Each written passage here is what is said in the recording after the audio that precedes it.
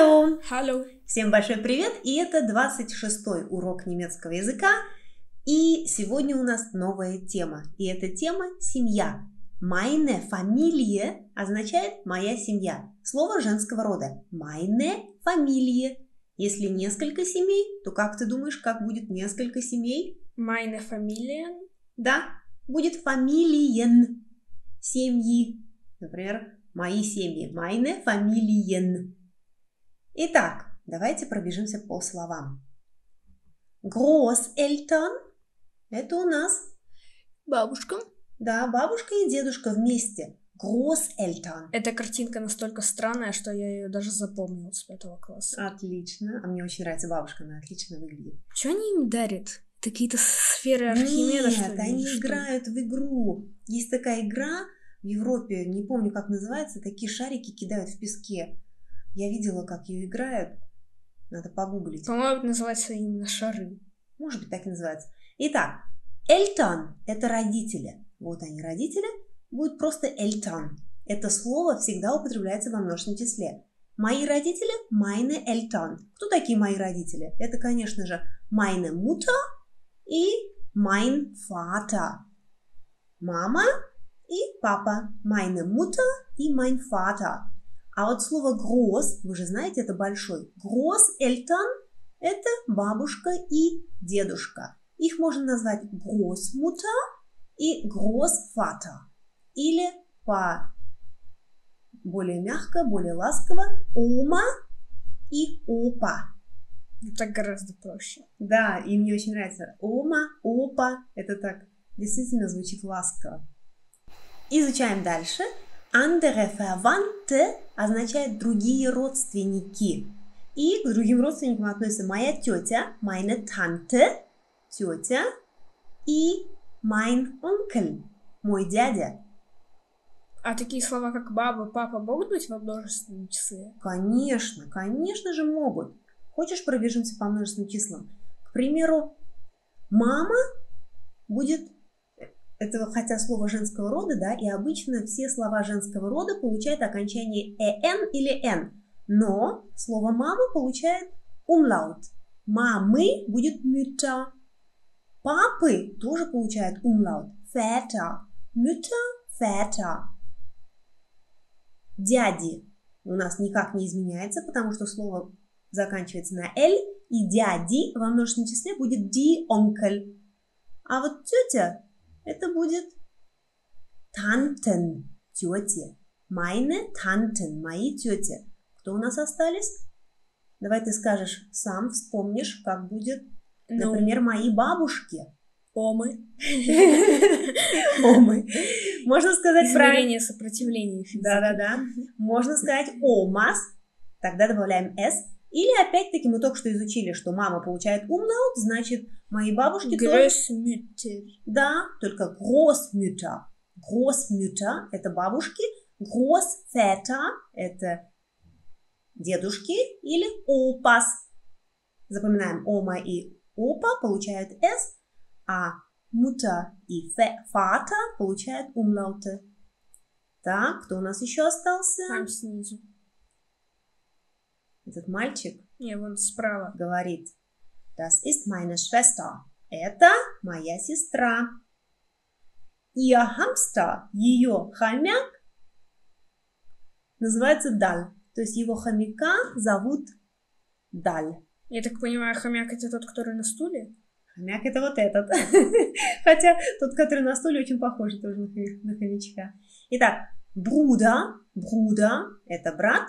И опять-таки умлаут получает это слово в множественном числе. Die Brüder – это братья. Как ты думаешь, как будет сестры во множественном числе? Meine Sch- Schwester. Ты хочешь умлаут добавить? Да. Нет, здесь же никакая гласная не может умлаут получить. Тогда meine Schwestern. Конечно, «н» в конце. Meine Schwestern. Мои сестры. А вот есть у немцев слово, которого в русском языке нету. И это слово Geschwister. Geschwister – это одним словом немцы называют братьев и сестер. Если они скажут meine Geschwister, это значит мои братья и сестры. Это слово всегда употребляется во множественном числе. Geschwister. Это слово стоит а во как множественном это числе. называется, где одного возраста? Ну, по-русски вот. Не знаю. Ну, вот то ли союзники, то ли соратники. Сверстники, вот. Можно назвать кровные сверстники. Итак, запоминаем. Meine Geschwister – это мои братья и сестры. И у нас еще осталось одно слово, а, два. Meine Cousine – это моя кузина или моя двоюродная сестра. Meine Cousine. Вот это, кузина. Meine Cousine. И мой двоюродный брат будет mein. И вот это слово они читают на французский манер и говорят... Тихо. И говорят mein cousin. Cousin. А теперь давайте прослушаем аудио. В этом аудио мы будем обращать внимание на произношение слов, а именно обратите внимание, как они произносят эти слова в самом конце. A. Hör zu und markiere den Wortakzent. A. Die Mutter. Der Vater. Der Bruder. Die Schwester. Die Geschwister. B. Die Tante. Die Cousine. Zu Hause. Vorne. Der Onkel. Hören. Hinten. А теперь, чтобы еще лучше запомнить все наши слова, давайте еще их и переведем. Mutter, Мать. а как будет мамы? Mütter. Да, Mütter, просто ставим умлаут. Der Vater, Отец. Die Vä Väter. да, die Väter. Если мы маму говорим кратко, die Mutter, то отец мы говорим чуть дольше. Der Vater, die Väter, отцы. Der Bruder, Брат. братья, Die Brüder. отлично. Die Schwester, Сестра. сестры, Die Schwestern. да, окончание n добавляем. Die Geschwister, это у нас, Вроде как кровные сверстники. ну да, давай не будем это страшное слово говорить, давай скажем братья и сестры. Die Geschwister – это братья и сестры, и слово всегда во множественном числе. Die Tante, Э, Дядя. нет, тетя. Die Tante – это тетя. Можно запомнить, как две буквы Т у них в слове тети и у нас. Тетя – die Tante. Или как танк. Тетя Танк. Die Cousine. А множественное число. О, кстати, множественное число. Die Tante. Нет, здесь мы просто добавляем n. Die Tanten. Здесь нет умлаутов. Die Cousine – это кузина. Множественное число. Die Ку... Это Просто добавляем n. Die Cousinen. Что такое zu Hause? Домой. Нет, домой – это nach Hause. Дома? Да, дома. Zu Hause – это дома. А вот когда nach Hause, nach – это направление. Nach Hause – это домой. Vorne – это новое слово, запоминаем. Vorne – это спереди или впереди. Vorne. И есть у нас слово hinten – это сзади или позади. Vorne, hinten. Кстати, вот мы только что говорили, nach – это направление, nach Hause – это домой. Или, например, ich fliege nach Spanien. Я лечу в Испанию. Nach – это направление. И мы также можем сказать nach vorne, значит, направление какое? Вперед, nach vorne, а nach hinten – это Назад. направление назад, nach hinten. Итак, запоминаем новые слова. Vorne – впереди, hinten – сзади. Der Onkel – это у нас Дядя. дядя. Кстати, похоже на английское слово дядя? Uncle. Ну, да. Вообще, по-моему, очень похоже. И hören – это у нас Э, ну, как бы, слушать или Да. что там. слушать. Hören А это слушать. die Enkel? Нет, нет, нет. Множественное число мы говорим die Onkel. Там нет умлаутов. Итак, где у нас есть умлауты? А как меняется der Onkel? Никак не меняется. Мы говорим die Onkel. Само слово никак не меняется, потому что вот это окончание L, если оно у слов среднего и мужского рода, то слово Это обычно не сигнал. меняется. Да, это как сигнал. Итак, мы запоминаем умлауты у нас у слова мама. Матери будет Mütter. Отцы – Väter. Братья – Brüder. Это нам нужно запомнить. И давайте прослушаем еще одно аудио. И мы прослушаем диалог, который называется Wer ist? Помнишь, что такое wer? Это кто? Кто есть? И три точки мы еще не знаем. Кто есть? Например, и, И- показываем на фотографии и вот этот человек. есть. Да. И где есть? Ну, where я бы вспомнил. Я не успел просто. Ну, бывает. Я помню, where и вас это кто и что. Извини, я, наверное, слишком тороплю тебя. Итак, давайте слушать диалог.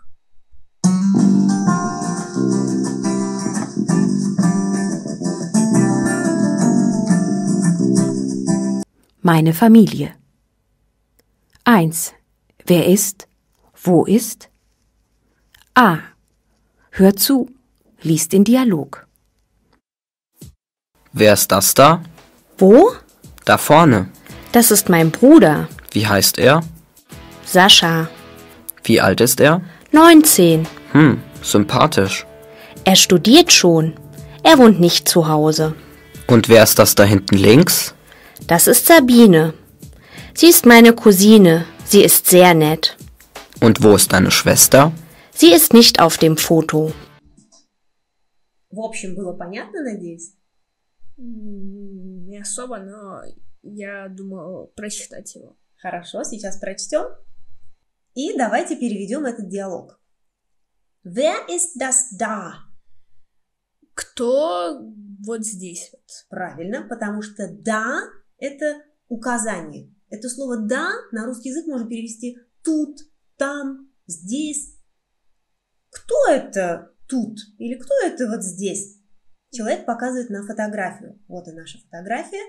Во! Где? Где? Да, vorne. Да, вот Тут, тут. Vorne, Да, вот тут вот. а vorne это впереди. Смотри, А. vorne. Впереди. Да, и вот этот человек, да, vorne, он сидит впереди. Итак, это фотография, и да, vorne означает тут впереди. Das ist mein Bruder. Это мой брат. Wie heißt er? Как зовут его? Sascha. Саша. Wie alt ist er? Сколько ему лет? 19. Э, 19. Да. Sympathisch. Х, симпатичный. Да. Er studiert schon. Вот это слово studieren – это учиться, но имеется в виду учиться в каком-то... инст- Студента? Да, как Да. студент. Институте. я сразу так поняла. Да, потому что похоже на студент, да? А schon – это уже... Он уже студент, можно даже перевести это предложение. Или он уже учится, но мы понимаем, что имеется в виду высшее учебное заведение. Er wohnt nicht zu Hause. Он живет не дома. Да, наверное, в общежитии живет. Und wer ist das da hinten links? Hinten links? А кто вон там под на заднем плане? Да, и запоминаем два новых слова. Links – это слева. Сзади – слева. Hinten – links. А rechts – это справа. Вот это слово запоминаем. есть можно сказать hinten rechts. Да, можно и так сказать, будет сзади справа. Кто это там сзади слева? Das ist Sabine. Его забили. Это Sabina. Sie ist meine Cousine. Она моя кузина. Sie ist sehr nett. Она... Nett, милая. Nett, А, она очень милая. Да, она очень милая. Und wo ist deine Schwester? А кто... Не кто, а wo? А, а где твой... А где твоя сестра? Sie ist nicht auf dem Foto. Ее нет на этом фото. Да, ее нет на фотографии. Итак, давайте еще раз изучим вот эти слова. Hinten, links – это Сзади слева. сзади слева. Links – это просто слева. А вот in der Mitte – это уже в середине. Можно сказать вот про эту девочку, что она in der Mitte. Rechts – это справа, rechts, запоминаем. Vorne rechts – это спереди и справа, а просто vorne – это спереди. И давайте еще прочтем только вот эти вопросы, переведем их, и на сегодня хватит. Wie alt ist, например, я могу тебя спросить, wie alt ist dein Bruder? Wie alt ist dein Bruder? Mein Bruder ist 16, Можно а, точку поставить. 16 alt. А можно добавить 16 Jahre alt, а можно просто сказать 16 mein Bruder Jahre alt. ist 16. Mein Bruder ist 16. Was macht dein Bruder? Was macht dein Bruder? Э, Что делает? Да, что он делает? К примеру, ну, мы не будем говорить, что он сейчас делает. К примеру, мы можем сказать, что в общем он учится в школе. И это будет er lernt, не studiert, а er lernt in der Schule. Если бы он учился уже в институте, мы бы мы тогда бы сказали er studiert schon, и тогда можно было бы спросить, а что же он изучает? Например, was studiert er? И можно было бы, например, сказать, что он изучает Er биологию. studiert Ja. Bio. Ja, er studiert Bio или er studiert Biologie. Это означает, что человек в институте изучает биологию. И тогда мы могли бы еще спросить, wo studiert er? Где он учится? И мы могли бы сказать, например, er studiert Biologie in Moskau. И это было все на сегодня. Давайте запомним все эти слова, которые означают справа, слева, спереди, сзади. И давайте еще выучим новые слова по теме семья. Всем спасибо за внимание, всем удачи, Tschüss.